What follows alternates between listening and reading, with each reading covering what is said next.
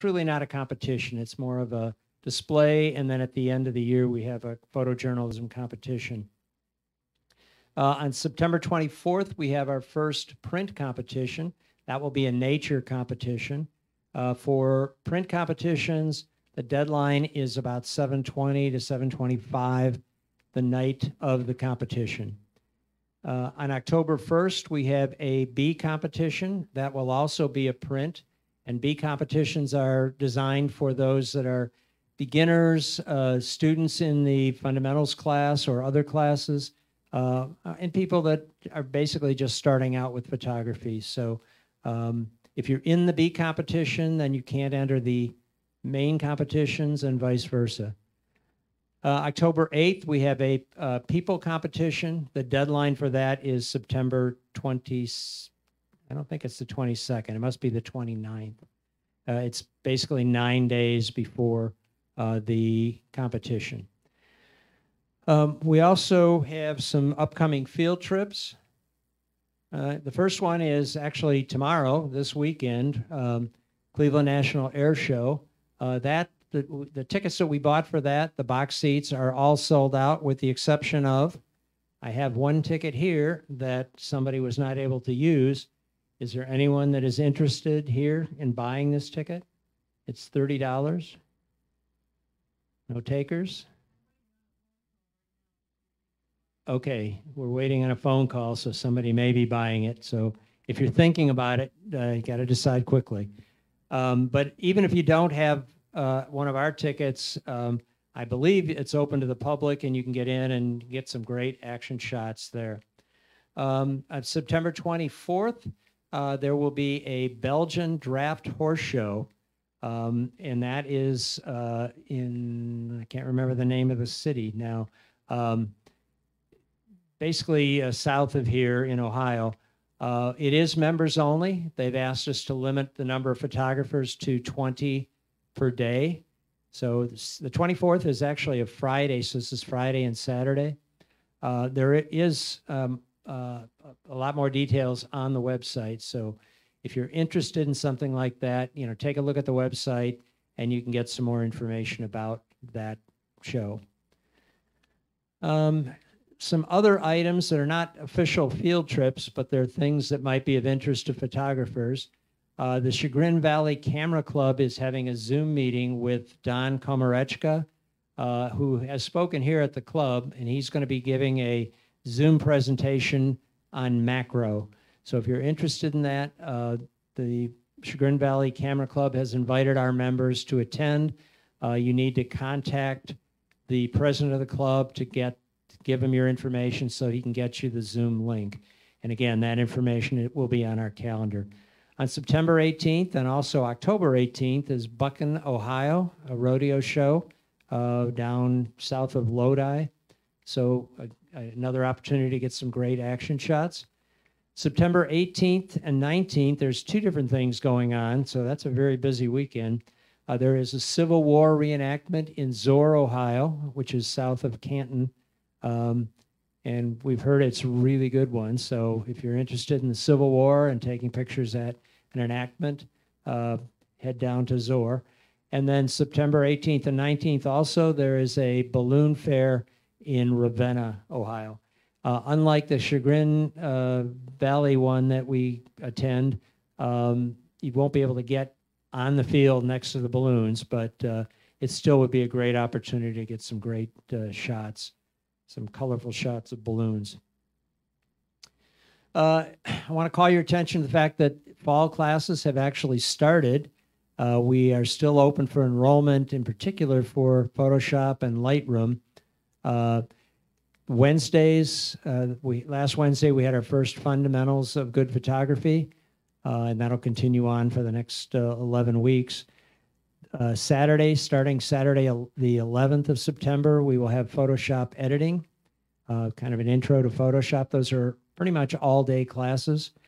Um, Mondays, we will have intermediate Photoshop, and Tuesdays, uh, Lightroom Classic. And I, now that I look at that, I think it's the other way around. I believe it's Monday is the Lightroom Classic, and Tuesdays is intermediate Photoshop. So I'll have to correct that slide. But there is still time to sign up, especially for the Photoshop and Lightroom classes. So check the calendar on that. Uh, if you have some interest in that, um, you know, you can sign up through the website or uh, get in touch with us at info at clevelandphoto.org. Um, and you can watch this and most of our Friday evening meetings at your convenience on our YouTube channel. So you can get the link on our uh, CPS website homepage, or if you go to YouTube, open YouTube and search for Cleve Photographic, and you can see the meetings that we have put out on YouTube. Tonight's meeting will be out there on YouTube. The ones that aren't there, when we have outside speakers that have requested that the uh, presentations be for members only, we will not be putting those on out on YouTube. We will record them and we will make them available down the road to to members. Okay, and we do invite you to subscribe to our channel and uh, choose to be notified whenever there's a new video that's posted. So again, welcome to the first uh, black and white photo competition of the year. Uh, tonight we have 94 images, 53 black and white, and 41 pictorial images. Uh, and let's introduce our judges for the evening. The judges are remote, so we will have people reading uh, the judges' comments. But let's go through who they are. Tom Croce uh, was originally from the Cleveland area. He does run a fine art photography business in southwestern Ohio. He got a BEd degree from Miami University of Fine Art in 1984 He's a master, has a master's of architecture degree from Washington University in St. Louis, and he got that in 1987. He's a freelance photographer with more than 30 years experience. He, wor- he has work published by National Geographic, Landscape Photography Magazine, and the NANPA Expressions 2016, a publication of the North American Nature Photographies Association's top 25, 250 images, excuse me. And who will be reading Tom? Uh, Bill Keaton will be reading Tom's comments tonight. Uh, our second judge is Mel Stone. He was born in 1942 in a small farmhouse outside of Solway, Minnesota.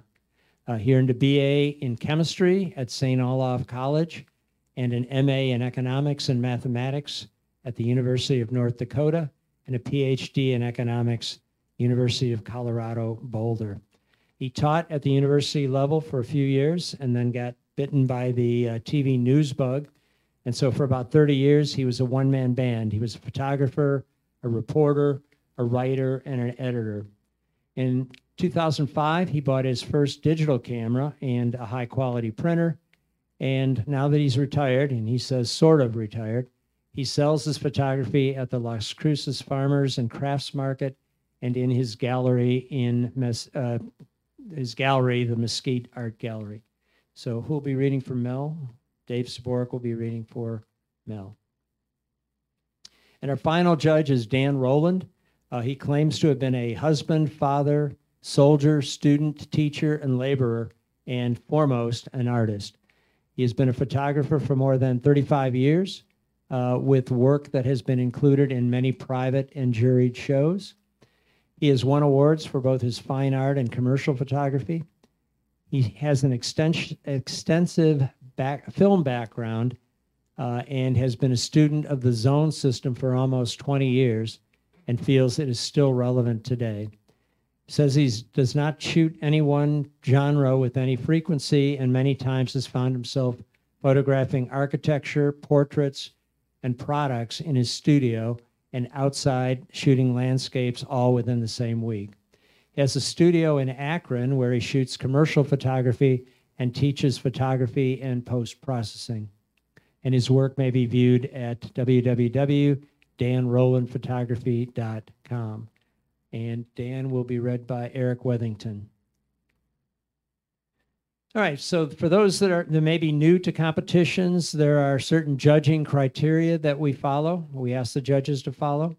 Uh, each judge will score an image on a scale of five to nine, and the final score then for the image is the total of all three judges' scores. Imagers are judged on three criteria impact, composition, and technique. So tonight we're going to start with our black and white images. And I'm going to kind of move over here.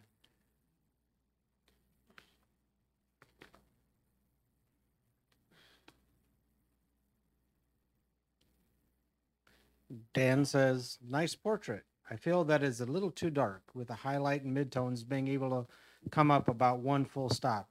This will also bring up the shadows a bit so they're not almost solid black.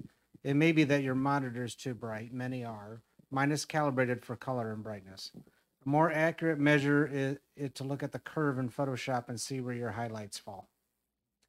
Okay, the image is called Amish Boy uh, by Richard Ader, 21 points. Mel says, ice reflection and the white bird really stands out. I wonder what it would look like if you opened up the reflection below the bright leaves and the shore just a tad. The image is called An Egret Evening by Cynthia Smith, 21 points. Tom says, I think the narrative of this guy living in a tent is very important social issue. I wish there was more context so I knew why he's living in a tent. Overall, the image is soft. I would really like to see his face in focus. When you frame it, if you moved, had moved to the right to reposition the man farther to the left in the frame, it would have shown more of the tent. The image is called Austin Tent Camp, black and white, by Gary Marich, 19 points. Dan says, beautiful image and great framing of the lighthouse. Your contrast really shows off the detail of the wood while maintaining highlight and shadow detail. The image is called Beach Window by Jackie Sieski, 25 points, second place. Mel says, Did you know these are called crepuscular rays and they are parallel? They just seem to converge like railroad tracks in the distance. I wonder what it would look like if the sky were a little darker and had more contrast. The image is called Black and White Sunset by Elda Baroni, 20 points. I think the toning works well with this image, Tom says, giving it an antique feel. The tonal range looks good and the vignette is well done. I would have framed it so as to leave a little more space in front of the boat so it has some room to move. The image is called Blue Nose 2 by Nancy Kukelik, 22 points. Dan says, This one I felt was too dark. Your highlights seem to fall around zone 8, and your midtones could come up about a half a stop. Also, the horizon could be leveled without affecting the composition. The image is called Bubble Man by Roger Summer, 24 points, third place. Mel says, a lot of nice texture. Did you try this in landscape orientation? If our eyes automatically look up and down, portrait mode is a good choice. Here it seems our eyes go front to back. Of course, I could be way off here. The image is called Cell Block by Vicky Wirt, 24 points, third place. Tom says this is very nice. The tonal range is good, and the simplicity and the graphic nature makes for a very strong image. My imaginations take the narrative in lots of directions. The composition in the frame works very well. I would have rotated the chair very slightly to the right so it is perfectly straight onto the camera. I also would have tried moving the chair to the left so the joint in the pavement is centered on the chair and it would have made the gray area poking out behind the chair on the right larger. Or I would have moved the chair to the right, centered between the two lines in the pavement, which might have required you to recompose a bit. The image is called Chair in Sun by Jane Sidney, 25 points, second place.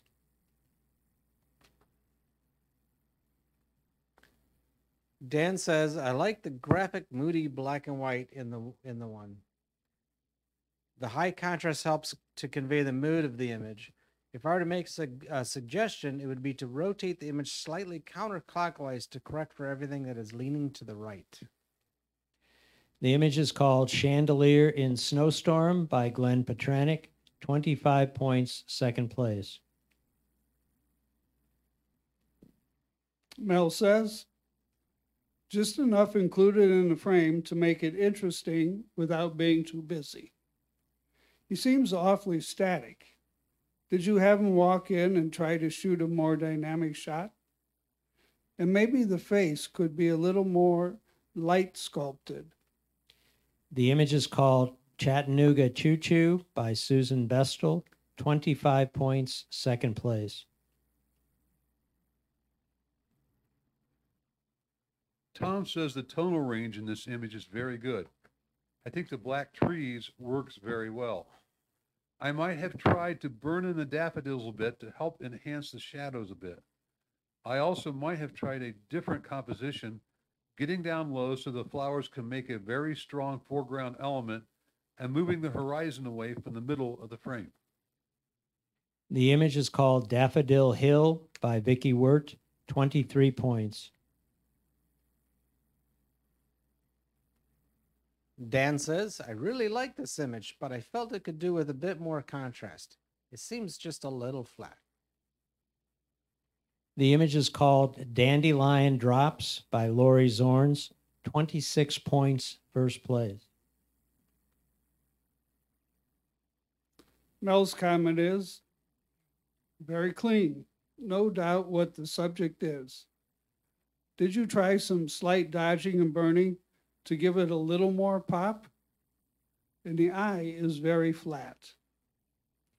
The image is called Flamingo Black and White by Richard Ader, 25 points, second place.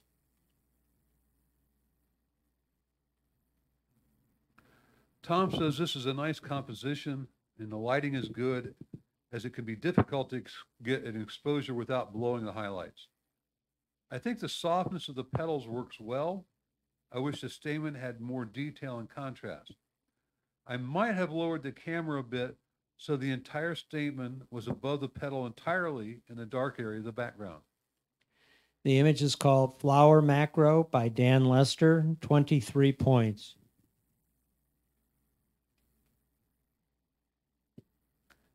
Dan says, the power of the locomotive is evident in this photo as it belches smoke and steam.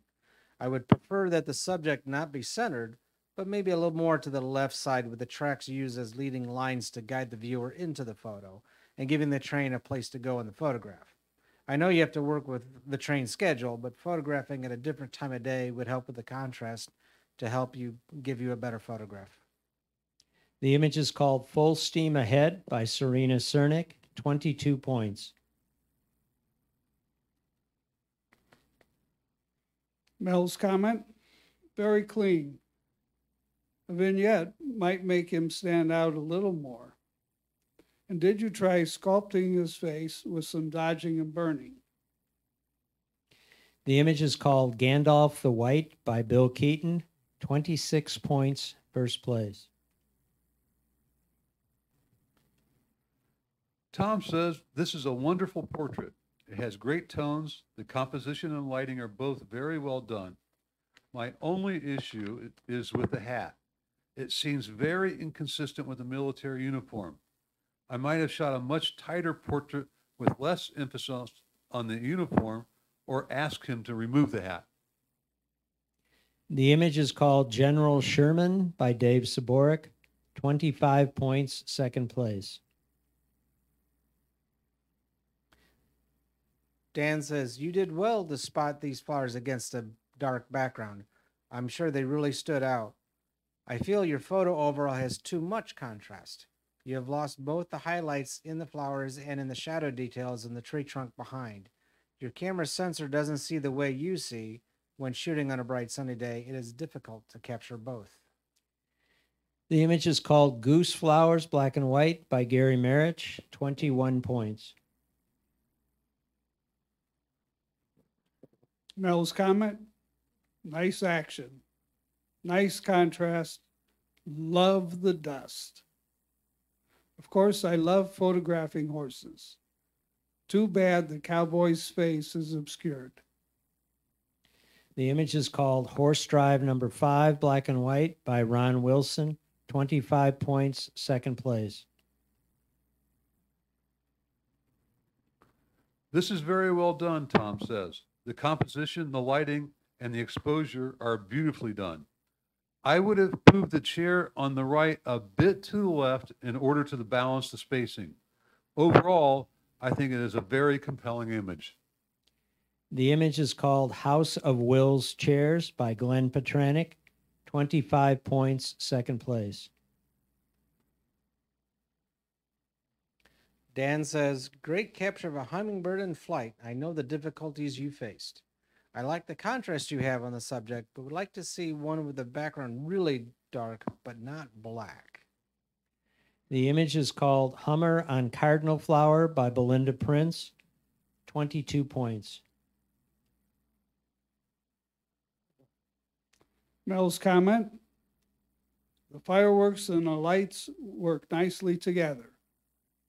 A lot of the other elements, especially the people in the lower left, are almost lost in the darkness and framing and add very little to the shot.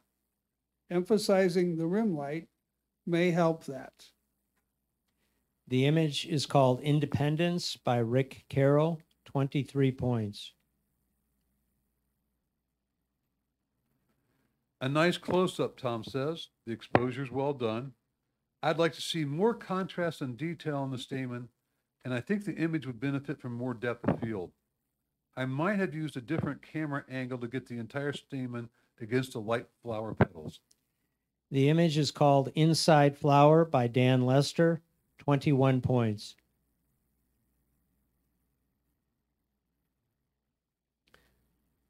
Dan says, I love the sharpness and the feeling of texture in this photo. Overall, I think it's too dark with your highlights on the front of the leaf falling between zone 6 and zone 7. Overall, I think it come up it could come up a full stop, maybe a little more. I also found the white dust specks a little distracting. The image is called Lotus by Jane Sidney, 23 points.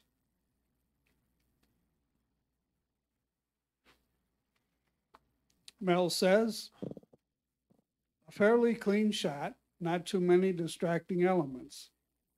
But overall, the image seems a little flat. And what should I look at? What draws my eye? The image is called Mansfield Reformatory Library by Melanie Plummer, 22 points. Tom says there's a very good tonal range in this image. I think the graphic quality of the net and the post work well. But I feel this image is in search of a subject. I see several possible images within this image. Some of the details of the posts or the overlapping grid of the nets, the knots, those kinds of things. Working the scene to find the image you want to make or to express what you want to say.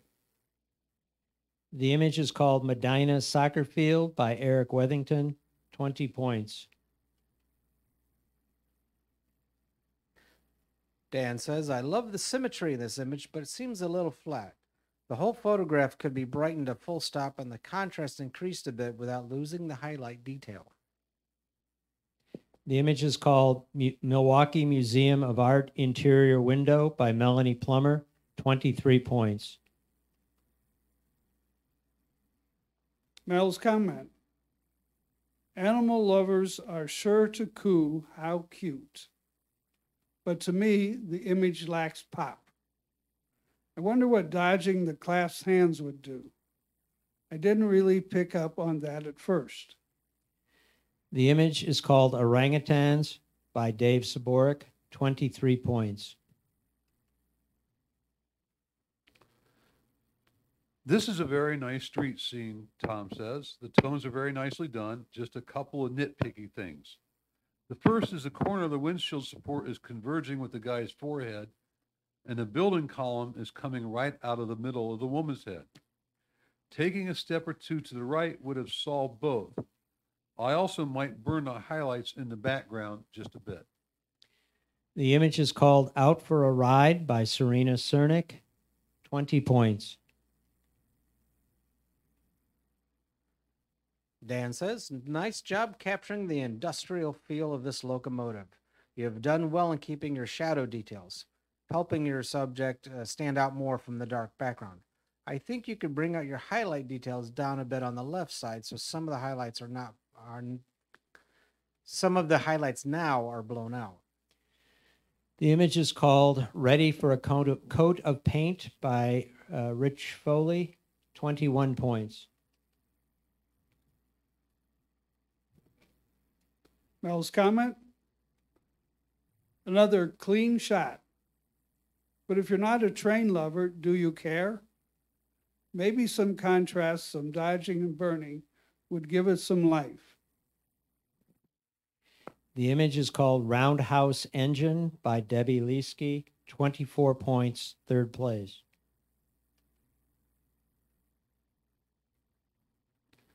Tom says, I like the feel of this image.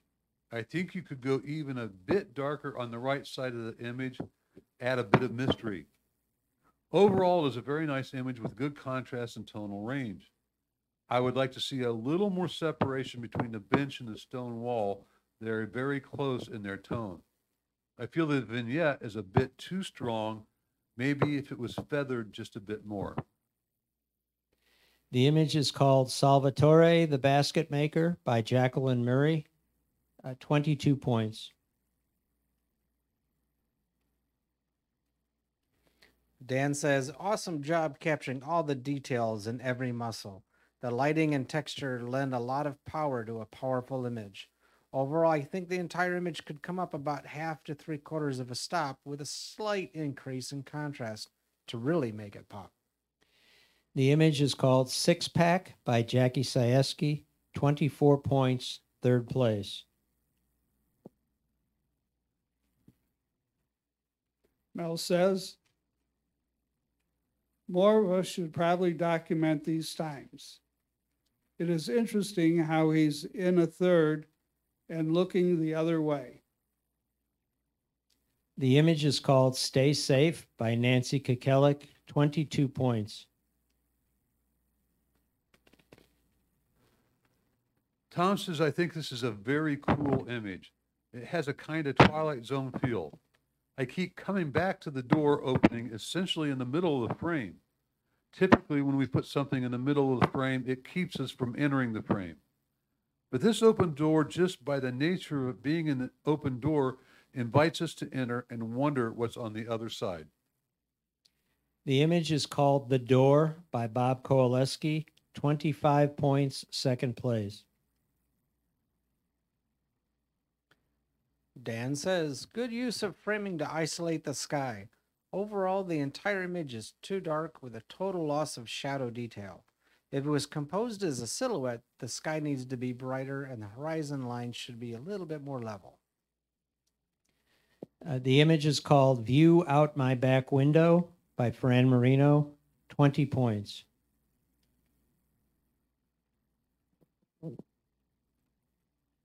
Mel's comment appears nicely candid and good non distracting background. An interesting black and white processing the hair and face. Nicely sculptural. The image is called Zach by Elizabeth Klanick, 21 points. Nice composition, Tom says. The reflections in the water are very nice. The tone in the lower left is nice, but the rest of the image, especially the right half, are pretty flat and could use more contrast. The image is called Zion by Bob Kowaleski, 18 points.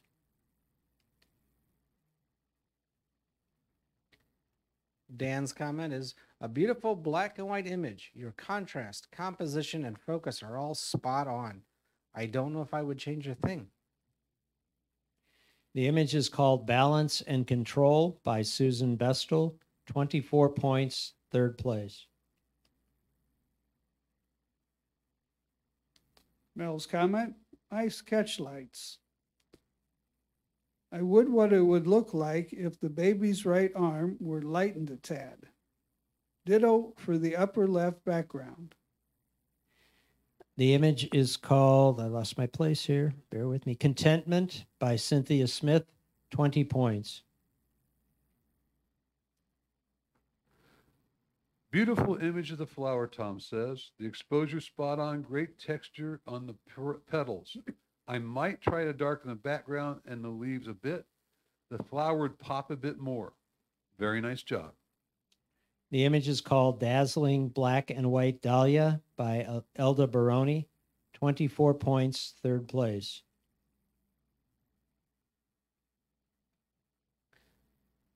Dan's comment I really like this elephant shot. There are very few subjects that lend themselves to the extreme contrast of just black and white.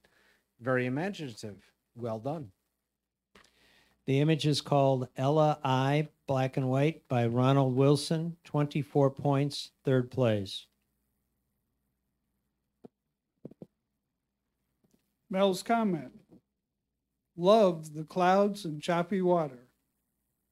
I wonder what this image would look like if you were a little, or maybe a lot, lower and were clearly on a third.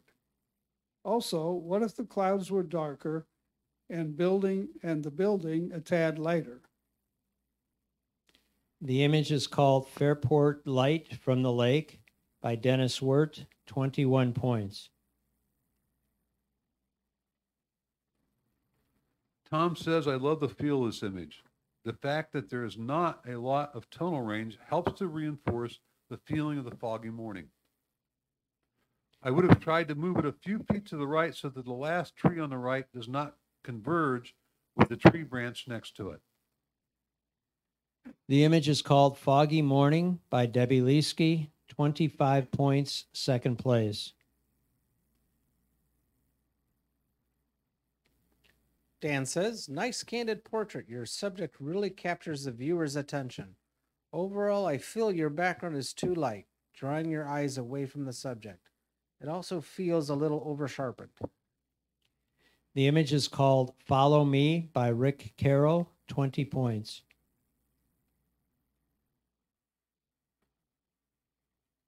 Mel's comment. Not sure what this is, but that may be the point. Symmetrically abstract.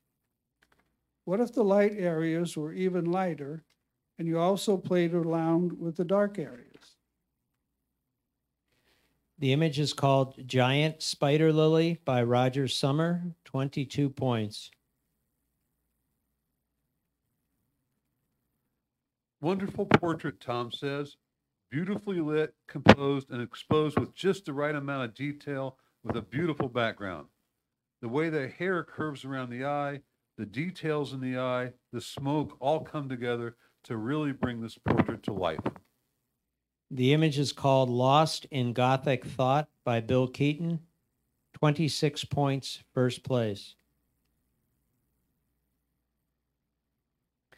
Dan says, I like the moody feel and the leading lines of the path leading to the figure in the background. I don't feel the high contrast works in this case and would have liked to see a little bit more detail in your highlights and shadows. I also feel a much tighter crop to help eliminate some of the distractions surrounding the figure. The image is called Plum Creek Walker by Eric Wethington, 20 points. Mel's comment. I think we all would like to capture this type of movement, but I'd experiment with a higher shutter speed and a higher ISO. Her right foot is quite soft. I'd also be nice to experiment with different lighting and hence shadows. The image is called Revelry in Black and White by Elizabeth Klanick, 22 points. Tom says, very nice portraits of the snowy. I think the composition works well and is well exposed. I might try burning in the highlights in the correction, burning in the highlights in the background just a bit. It will help give a bit more depth to the image. I would also try adding a bit more contrast to its face to see if you can pull out just a little bit more detail. The image is called Snowy in the Snow by Lori Zorns, 25 points, second place. Dan says, really interesting subject and composition. I like that you have chosen to display the main subject upside down and not in the manner traditionally seen for a watch clock photo. Overall, I think there's too much contrast and you've lost your shadow details. You could bring them up quite a bit instead of the main attention on the subject. The image is called Time Waits for No One by Fran Marino, 24 points, third place.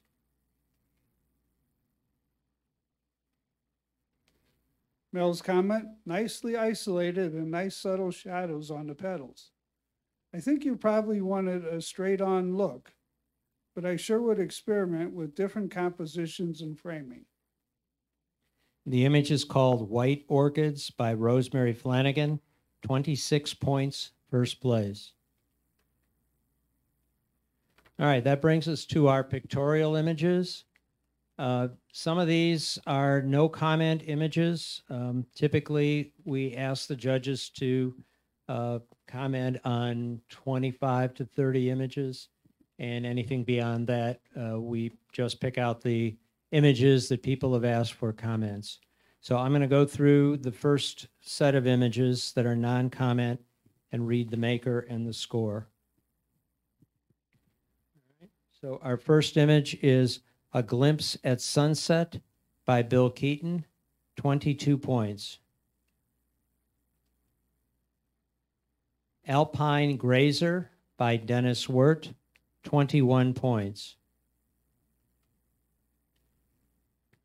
Droplets on White Flowers by Ron Werman, 23 points, honorable mention. Fairport Harbor Standing on Ice by Rick Mills, 22 points. Fairport Harbor Cold as Ice by Rick Mills, 23 points, honorable mention. Ferry by Eric Wethington, 23 points, honorable mention. Ford Trimotor by Roger Summer, 25 points, second place. Hello Dolly by Sarah Zietlow, 24 points, third place. Hide and Go Seek by Elizabeth Klanick, 24 points, third place.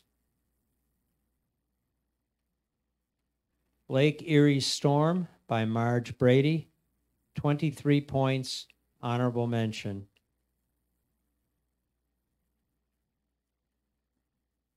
Uh, Lower Affelder Falls by Ron Werman, 23 points, honorable mention. Mabry Mill by Susan Bestel, 23 points, honorable mention. Monarch by Lori Zorns, 24 points, third place. Neighborhood by Ronald Wilson, 22 points. Pickup Sticks by Fran Marino, 21 points.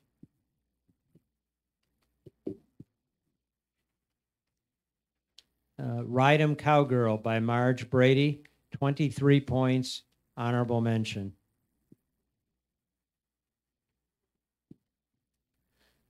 Snuggling Snails by Jacqueline Murray, 22 points. Solo by Rick Carroll, 23 points, honorable mention. The Next Generation by Cynthia Smith, 21 points. Trillium in the Rain by Rosemary Flanagan, 24 points, third place. Up, Up and Away by Rich Foley, 23 points, honorable mention. Wade Oval by Debbie Leesky, 23 points, honorable mention. Weeping Trees by Dennis Wirt, 20 points. All right, the remaining images are uh, comment images, so Start with this one. Tom says this is a good exposure with a very dramatic sky. I think the feel of the image works very well.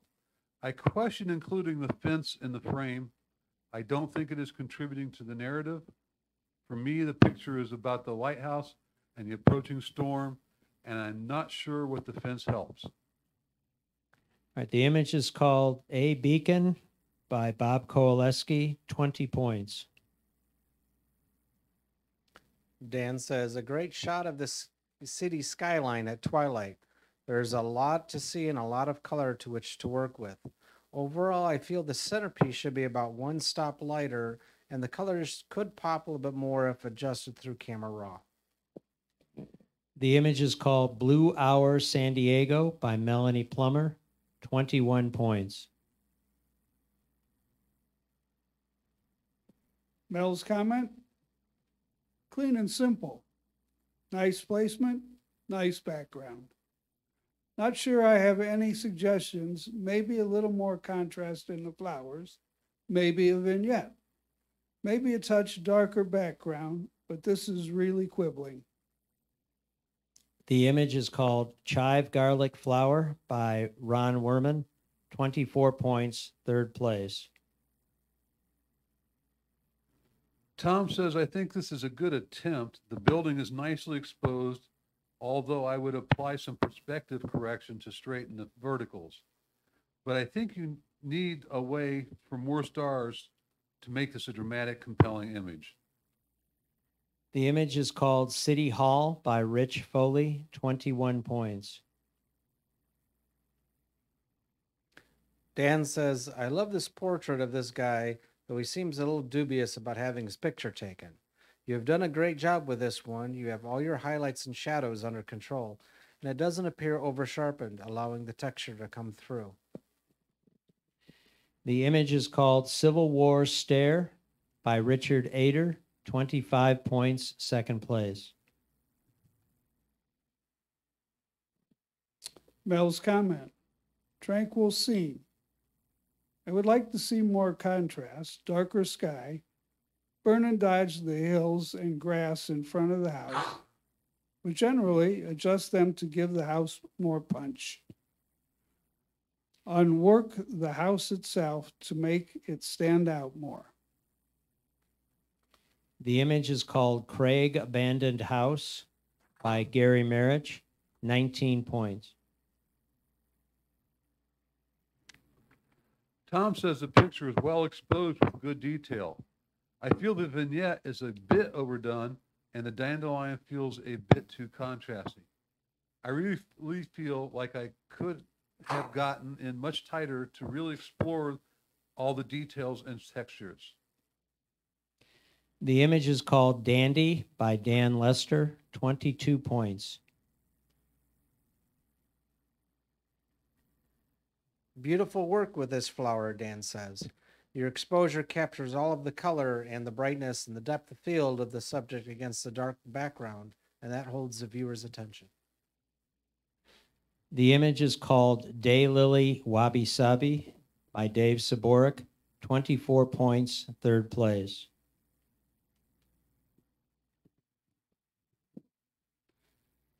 Mel says, quite unusual view and or framing, but effective. Not sure I have any valuable suggestions. Maybe dodge the white in the flower and darken the green leaves to see how that works. The image is called Edge by Jane Sidney, 24 points, third place. Tom says this is a great perspective. I love the ideal, the eye detail and the tiny water drops. The lighting in the background look great. I would like some more depth of field so the antennae are sharp. The image is called Eye to Eye with a Butterfly by Sarah Zietlow, 23 points, honorable mention.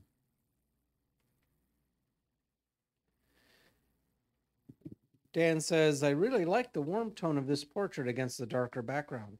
Your use of depth of field and contrasting tones really helps keep the viewer engaged. The image is called Lady Troubadour by Marge Brady, 25 points, second place.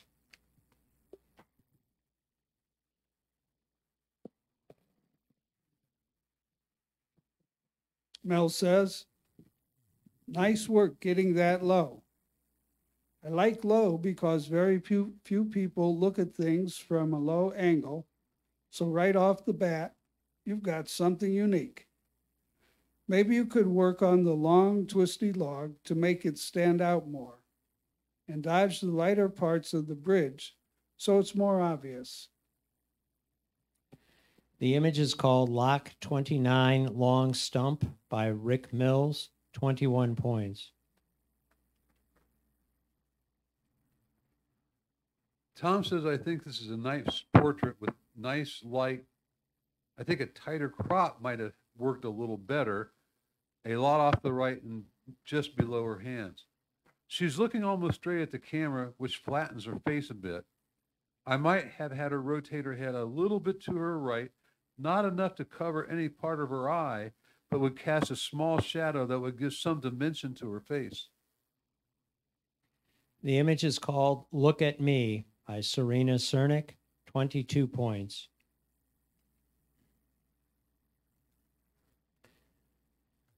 Dan's comment. This is re- this is a really interesting subject, and I hope you get to photograph it again.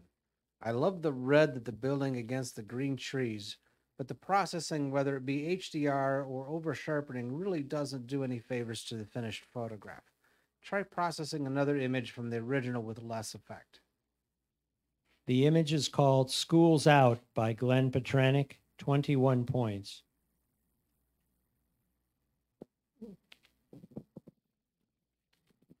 Mel says, nice, simple sunset. Matt Klaus, Klaus, Kloskowski offer a seminar where he suggests the sky should seldom be over a third of the frame. Some agreed with him, some didn't. But check it out and see how it affects this image. That vertical element to the right of the house is distracting. The image is called Sunrise Near Rye Beach by Nancy Kukelik, 23 points, honorable mention. Tom says looks like a very nice skyline. It looks a bit underexposed and overall the image is very flat, lacking contrast. The vignette is not really helping you, maybe feathering it out some more. I can't help but feel like maybe this image could have gone more in the graphic direction, embrace the flat light. I might try cropping off most of the water and some of the left side, just to the right of the first office building. The image is called Thames Winter Highlight, uh, Winter Twilight, excuse me, Jacqueline Murray, uh, 22 points.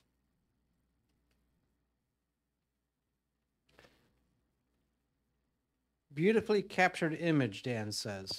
I love that you have kept all the highlight detail and j- all the highlight and shadow details and have carried the focus from one end to the other. It is really an engaging piece. The image is called The Rookery Staircase by Jackie Sieski, 24 points, third place. Mel's comment, again, clean, simple, on the third, pleasing. Maybe a little more contrast in the flowers darker, darker lights lighter. And while you're at it, darken the greens a tad to see if that makes the flower pop a little more. The image is called Water Lily by Vicky Wirt, 26 points, first place. And that concludes tonight's competition. Uh, we want to thank all of our judges and all of those who read the judges' comments. We appreciate that. Um, thanks to all of you who entered the competition. We strongly encourage you to uh, enter future competitions. It's a great way to kind of hone your skills and become better at photography. Um, if you do have some feedback, please send it to us at info at clevelandphoto.org. And so that concludes tonight's event. If you would like some more information about competing, or if you're interested in joining the Cleveland Photographic Society, please visit our website at www.clevelandphoto.org. So, good night, everyone, and stay safe.